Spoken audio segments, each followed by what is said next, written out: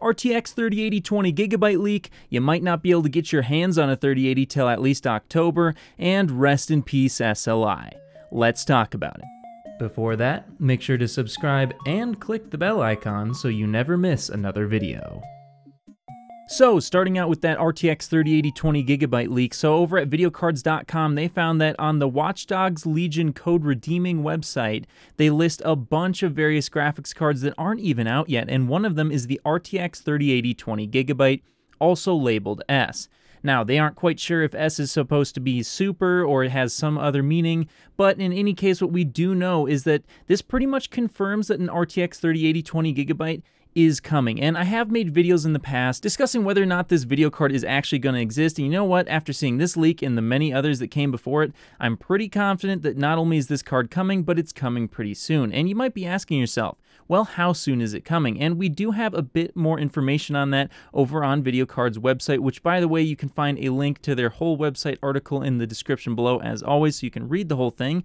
And here they posted a little image showing what they believe the 3080 20 gigabyte is going to look like. And according to them, it's going to have the same amount of shaders as the RTX 3080 at 8704, except for it's going to have double the amount of memory. So I'm assuming what they're going to do is they're just going to take 10 1 gigabyte chips and they're going to slap them on the back, similar to how the RTX 3090 has 12 on the bottom and 12 on the back, because that way they don't have to do any extra finagling. It's just going to work. And according to them, in terms of a release date, it will be releasing after Big Navi, and Big Navi is slated to be releasing sometime after October. October 28th, so I really wouldn't be expecting this card till at least November or even as late as December or 2021. Now, hopefully it doesn't come out that late because I'd like to see this card coming out in November so that we can all get a much better version of the 3080 because I think a lot of people out there, including me, are starting to think that, you know what, 10 gigabytes for $700 isn't the best deal. Yes, it's a very fast graphics card. It's definitely a much better deal than the 2080 Ti that came before it, but I think a lot of us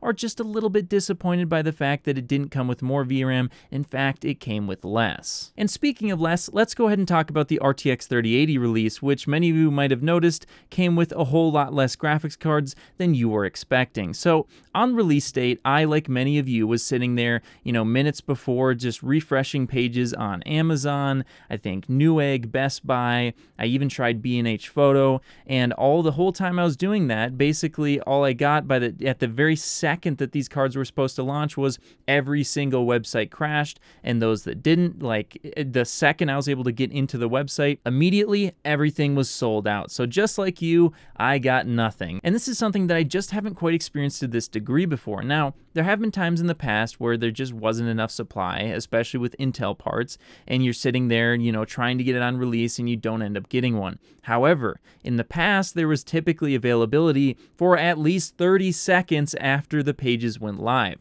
In this case, basically the second that you got in, they were all gone. And the prevailing theory seems to be that bots pretty much bought most of the stock. Now, NVIDIA and uh, Newegg, I believe, both came out and said that they had bot protection. NVIDIA is saying that they're manually reviewing to see if, if anything's suspicious but I'm sorry, most of these cards are on eBay right now and were bought in mass by bots. And unfortunately, going forward, bots are just going to be a real thing because not too long ago, someone figured out a way to create a bot that would basically just go out and buy products. And this is basically the best way people can get around the one per household limit, and they can just buy way faster than any human being ever possibly could. And it's funny, that's the exact same reason why B&H Photo went down, and they ended up having to come out and tell everyone, hey, we are not even selling RTX 30 cards right now, so stop going to our website. And after they said that, about 30 minutes of being down, suddenly, bang, their website went back up. So yeah, it was a really crazy launch, probably the worst launch I've seen thus far. Though, to be honest with you, I know many of you might be thinking it was a paper launch, but it wasn't, because according to Gamers Nexus, his sources told him that they had similar stock to what they had with the 20 series, and they are restocking every couple of days. So these cards are out there, and there are real people who are getting them. It's just that Unfortunately, at the very second that it launched, a lot of people had bots waiting, and there was also a lot of humans waiting to buy one. so that they could go ahead and list it on eBay for $3,000. And you know what? A lot of them are selling for thousands of dollars. So if you're someone who thinks you just can't wait and you're about to go on eBay, please don't do that. And in terms of RTX 3080 stocks, according to Gamers Nexus, while there will be some available every few days in September, there really won't be a whole bunch more new cards coming until about October. So if you want to get one, you're really going to have to be checking those sites pretty much every couple of days. And so now let's move on to our final topic, and that is the state of SLI with the RTX 30 series. Now, me personally, I've been a huge fan of SLI in the past, back when it was actually really great. Uh, you know, in fact, it was never really great, but it worked pretty decent for a while. And I used to run 980 Ti SLI, 1080 SLI. Uh, I believe I ran um, like 980 SLI as well. I ran like four generations all in SLI, and I had a pretty good experience with all of them. But recently, if you've been paying attention, SLI has been kind of slipping ever since DirectX 12 became the standard. And unfortunately, recently NVIDIA put out this statement where they said, quote, with the emergence of low-level graphics APIs such as DirectX 12 and Vulkan, game developers are able to implement SLI support natively within the game itself instead of relying upon an SLI driver profile.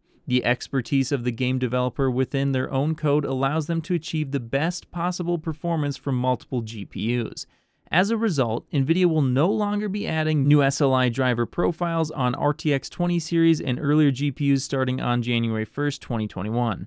Instead, we will focus efforts on supporting developers to implement SLI natively inside the games. We believe this will provide the best performance for SLI users. Existing SLI driver profiles will continue to be tested and maintained for SLI-ready RTX 20 series and earlier GPUs. For GeForce RTX 3090 and future SLI-capable GPUs, SLI will only be supported when implemented natively within the game. So this is really sad to see, but it's something that I unfortunately saw coming. You know, it's been getting worse for years, like I stated earlier, but on top of that, when I saw the release of the RTX 30 series and I saw that not even the RTX 3080 had any NVLink connectors, only the RTX 3090 had it, I was like, yep, that's the final nail in the coffin. And you know what? It wasn't. This was the final nail in the coffin. So, unfortunately, Rest in peace, SLI. It looks like if you want to have better graphics performance, the SLI is not even an option anymore because let's be honest, when NVIDIA doesn't create a SLI profile for a game and they don't work with the developers, the developers don't make it. And when all of your cards don't actually even have SLI fingers except for a $1,500 card, that 5% of people that were using SLI is going to shrink to 1%. So why would a developer sit there and spend all of that time making SLI working for 1% of users?